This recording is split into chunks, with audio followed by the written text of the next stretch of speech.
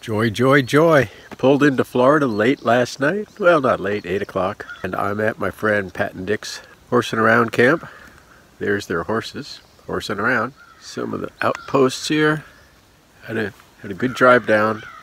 Lots of life lessons all along the way. Cat's already out, tentatively exploring brand new territory. So we'll talk to you soon. Joy, joy, joy.